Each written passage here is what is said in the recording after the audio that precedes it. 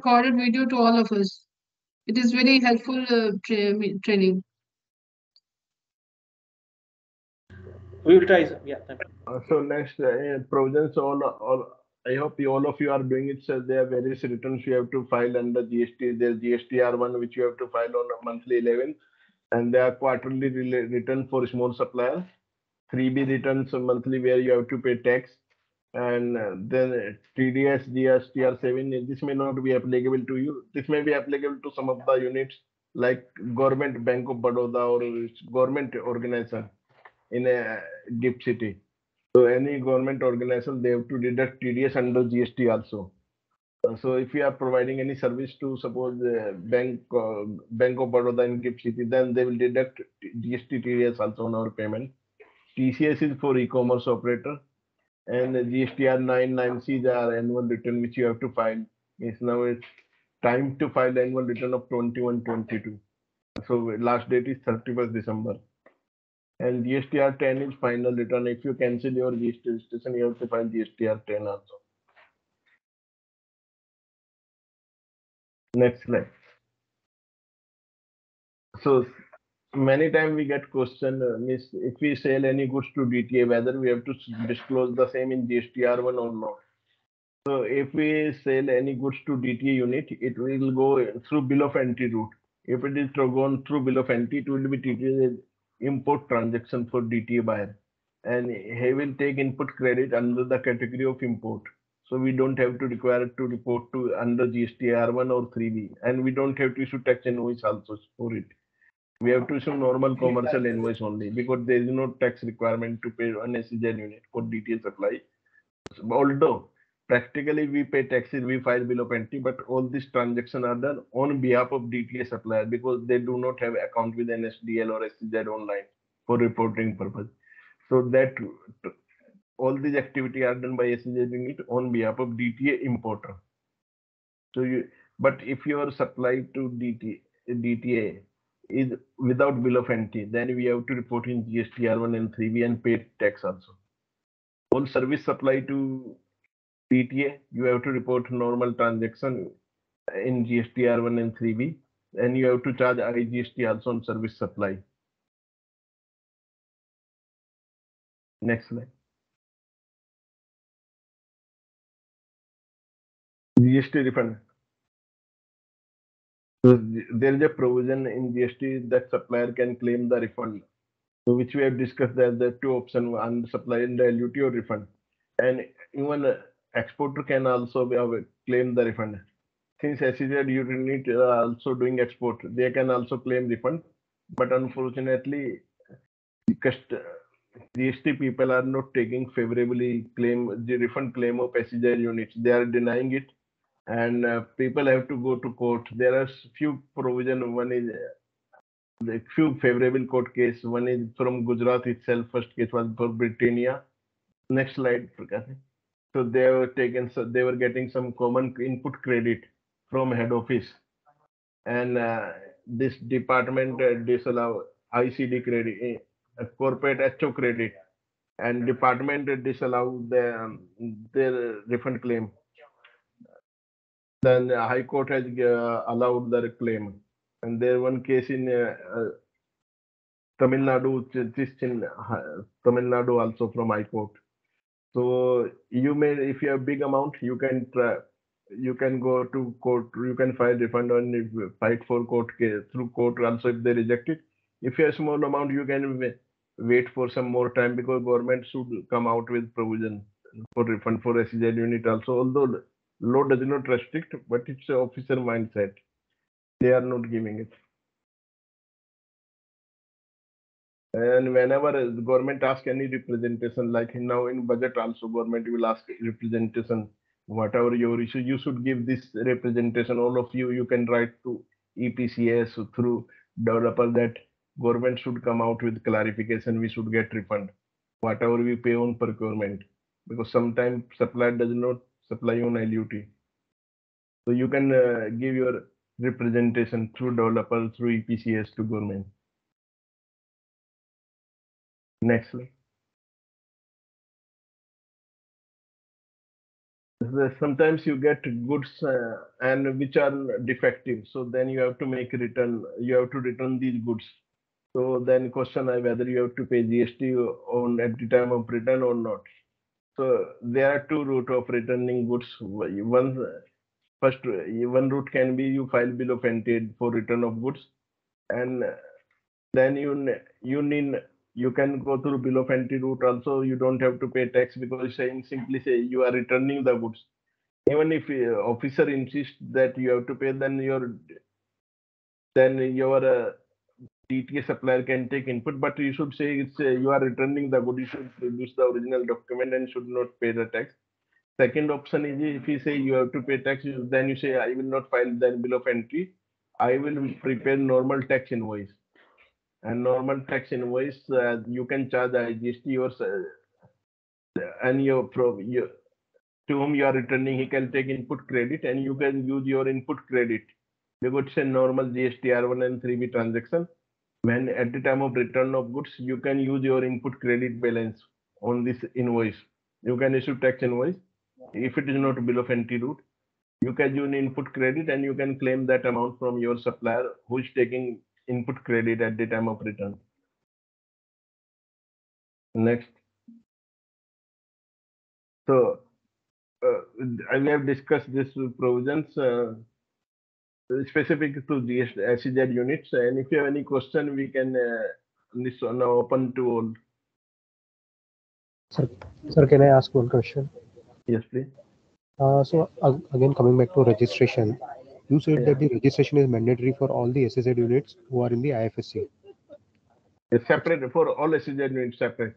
Suppose even you have one SEZ unit in IFC, one maybe in other SEZ also, you have to take separate registration for each But if I don't have any unit, I only have one unit in IFSC and no other Yeah, so business, then yeah, still you have to take registration.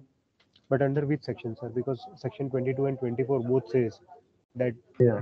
like if I'm dealing in a non-taxable activity, then I'm not supposed to take registration. Then under which But in uh, if I'm a broker, if I'm a, a person who is but you are a broker, you are doing interstate supply. No, no, I, I'm not a broker. I am just uh, doing an uh, security transactions. Whereby am I enter- But you will do, Yeah, go ahead. But uh, how will you do transaction? You have to avail service. You have to provide some services. Correct. So basically, Yeah. I'm I'm uh, taking the funds. I'm an Yeah. Agent, and I'm bringing the fund from outside India, and I'm Yeah. investing in India. But you are providing service to customer outside India. Correct.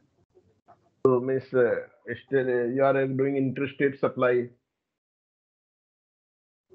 Hmm. Means you are recovering the consideration from them Correct. from customer overseas. Whether you are covered under export or not, you first you have to see section two definition of export. Whether your place of supply is in India. In case of intermediary, your place of supply in India, then it is a taxable supply. It is a not tax- exempted. It is it is an exempted supply because my all the customers are sitting outside India. But how where it's where it is written it is exempted? Under which hmm. provision? Okay, so it is a zero rated, which it is otherwise. Zero rated will be Yes, no, under section sixteen. No, I still I don't say it is maybe zero, it may be taxable also. Because if your place of supply is in India, you may have to pay 10% C plus S. So in Okay. case of intermediary place of supply, the location of service provider. First you have to see whether you are intermediary or not. Hmm. And you may require to pay 10% tax also. Correct. And now suppose I am just an unit who is being established in IFSC, and Yeah. and sir, I'm sorry, I'm very sorry. Somebody else can continue. I have some important. I will come back. Naveen. Sir, Uh, sir, Yes. Sir Navita from Viman again. Sir, can you just clarify again that D, uh, SEZ to DTA and DTA to SEZ transaction, how to raise invoice and currency wise, commercial or tax invoice? Uh, Miss uh, DT to SEZ is a normal transaction. Only thing is you Okay. can uh, treat take it on LUT without IGST. Yeah. And SEZ Okay. to DT is depend upon whether it's a goods or service. If it is Hmm. service, you have to show two invoice. One is foreign currency uh, for commercial invoice. Second is an INR tax invoice. If it is for goods, then you have to see whether goods are going with the bill of entry route without bill of entry route. If without bill of Okay. entry route, you can invoice, is- raise normal tax invoice, uh, report in normally in uh, th- one and three B IGST transaction with payment of tax. And if it is Mhm. on bill of entry route, then you have to pay tax through SEZ online portal through NSDL. Mhm, And your mhm. uh, buyer will take credit under import. You don't have to report in return. Okay. And SEZ to SEZ only, uh, this uh, is- currency, normal. Yeah, it- yeah, normal uh, under LUT. If it is Under within LUT. same as, yeah, if it, again it depend upon goods or service. If it is uh, Mhm. for goods, one is if within same SEZ, no bill of entry, if the SEZ, it will go through bill of entry. Okay. Thanks, sir. Yeah, welcome. So Prakash ji, Sir, on co- the- we can yes, uh, this contact number. We provide services to many SEZ units our uh, customer. Even we have provided service to Export Promotion Council. So we help. Uh, miss, we provide advisory service to SEZ units and developer on GST and SEZ, provisions also. You can note down if you need our services. Uh, then we can uh, discuss in details for a specific provision to units. You can con- contact us. You can note down my number. Sir, one last question. Yeah. If I'm an unit in IFSC and dealing in uh, security business, still I'm required to take registration? Sir, Yes, I'll answer the question uh, if you don't mind, sir. As per section 25 of CGST, CGST Act, which deals with registration, it says that any SEZ unit, a person having a unit in special economic zone or being a special economic zone developer shall have to apply a separate registration. So section 25 1 of CGST Act. Correct. So that is the only for the procedure for registration. Huh. Yeah. So Yes, section sir. 22, 23 and 24 nowhere says that this is required. 25 is applicable only when 22 and 24 is applicable. But where do you get exemption? It's, your supply is taxable. No, my supply is not hmm. taxable. I'm just Where, dealing where? But we have, my income is you had, again, we, coming we from- discussed this. There is a slide which we discussed. We told exempted Sir, supply and sir. taxable is different, different. Supply I hope you to have noted my slide. or Exempted ex- ex- supply from SEZ or supply to SEZ is not exempted supply. So you are not getting that exemption benefit of section 22 or 20. Sir, I am dealing I am dealing into I am trading into derivatives basically. Yeah, uh, but where it is exempted? So my entire- under which sec- Where it is exempted? so under which section it is Sir. exempted? Sir, completely entire security transactions are or not even uh, purview of GST. Where it is written? Under which section? Sir, I- uh, you, I will- if you can I will give you entire.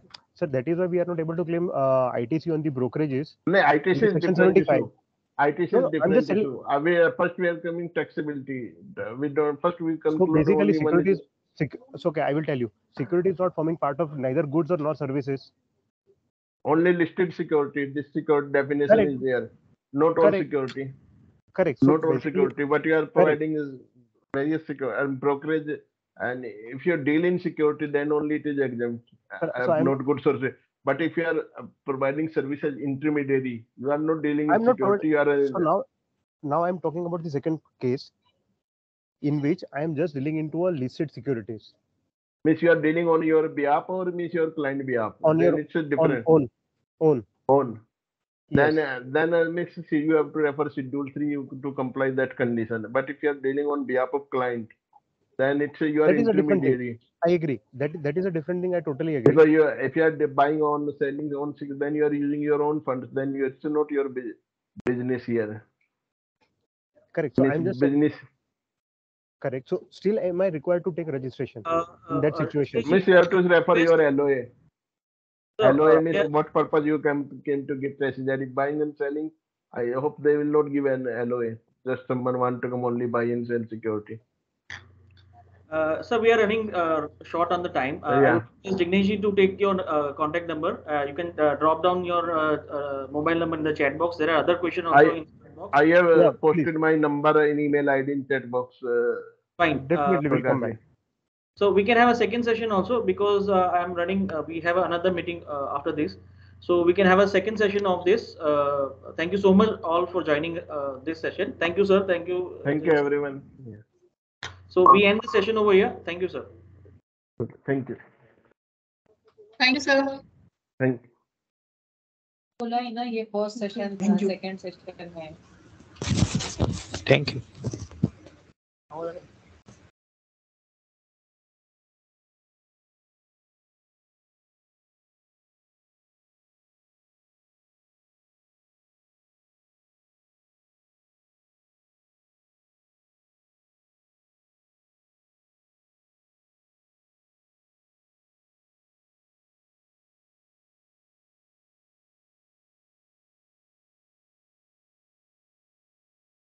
Thank you all for joining. Please log off.